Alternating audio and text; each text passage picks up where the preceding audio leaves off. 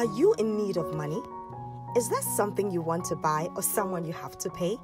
Then this revolutionary book, Cryptocurrency by Kakra Baiden, is what you are looking for. It will unlock sources of money you have but don't know you possess. You're just a book away from turning your finances around. Order the book Cryptocurrency How to Profit from Free Labor through the following means. Place your order on Facebook by posting Order Cryptocurrency in the comment section or message window. We also deliver worldwide. This message is brought to you by the friends and partners of Kakra Baiden. Welcome to Air Powered Kakra Baiden, teaching the nations with signs and wonders. Kakra is the senior pastor of the Catch the Anointing Center, Accra, Ghana. Now, today's message. Hello, Kakra has been sharing a fantastic series titled The Art of Hearing under the subtitle Why You Must Hear the Voice of God. Yesterday, he explained that supernatural guidance means to receive counsel from God. Today, he shares the second definition of guidance. Come along. Second definition of guidance means to assist somebody. I remember many years ago when I was in university, you know, I needed a car. And one day I was walking, the sun was shining, and it was a it was a terribly hot day that day. So I said to the Holy Spirit, I need my own personal car purchased by myself. And I need your assistance. So I remember I went to bed. In the morning when I woke, I went, I went to the bathroom. And I remember clearly when I was going to sleep, the bucket was empty. But when I woke up, it was full. And I was the only one in the house. So I started wondering, who came to fill this bucket with water?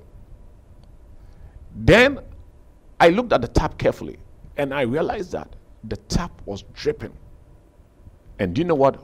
Overnight, the, the, the, the big bucket became full.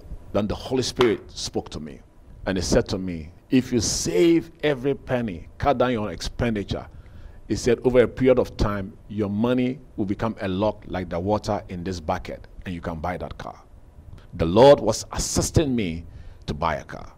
Then a scripture came to my mind, some Proverbs chapter 28, verse 19. It says, He that tilleth his land shall have plenty of bread, but he that followeth after vain shall have poverty enough. Then 20 says, A faithful man shall abound with blessings. But he that maketh, haste to be rich shall not be innocent. That incident revealed to my heart one of the secrets of life. And it came through the counsel or the assistance of the Holy Spirit. He said to me, In life, you just need to be consistent. And when you are consistent at anything, over a period of time, you become great in it. This counsel has stuck with me forever up to today. It says, A faithful man shall abound with blessings. In other words, whatever you are doing, if you are faithful to it and you are consistent over a period of time, it becomes very large and very big. There are people looking for one big deal and make $5 billion in a week. Well, it's possible, but very few people have that opportunity. Very few people. But since I received the assistance of the Holy Spirit through His counsel, I believe in consistency. And when we, we follow the counsel of the Lord, supernatural guidance, He assists us.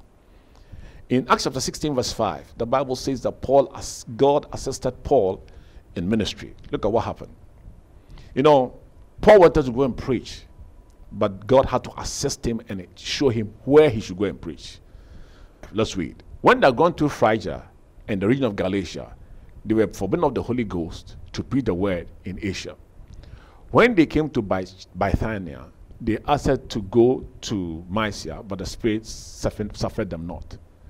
And they, passing by Mysia, came to Troas. There appeared a vision unto Paul in the night. Verse 9 says, there stood a man of Macedonia and prayed him, saying, Come over here into Macedonia and help us. Verse 10 says, After we had seen the vision, immediately we endeavored to go to Macedonia, assuredly gathering that the Lord had called us for to preach the gospel to them. You know, the fact that something is good that not mean you should do it. That's the mistake I see many Christians make. Here was Paul. He wanted to go and preach the word in Asia at that time. And God said, No, don't go there. In other words, even preaching the word of God, you don't just get up and preach to people because it's a good idea. You go and you preach to people because it's a God idea, a God idea, not a good idea. So, in his missionary work, he was assisted by the Holy Spirit through his counsel. And through the counsel of the Holy Spirit, Paul had a very successful ministry. Let me tell you something about ministry. The fact that there is an opportunity for ministry does not mean it should be done. The only thing that has to be done is the will of God. And you only know it by knowing the voice of God, the assistance of God. God assisted him to, to preach the word of God in places where it will work. Because it's not everywhere that your preaching will work. So I pray that the Holy Ghost will counsel you by assisting you and helping you through his counsel to raise your children to run your business, whatever. Today, we learn that when we hear the voice of God, we are supernaturally assisted by God Himself through the Holy Spirit. Join us same time tomorrow for the continuation of this message. Before we go, here's a praise report to boost your faith. Delivered from spiritual attacks. Dear Kakra, I wrote to you to intervene in the spiritual battles in my life. You prayed for me and recommended your book, The Rules of Engagement.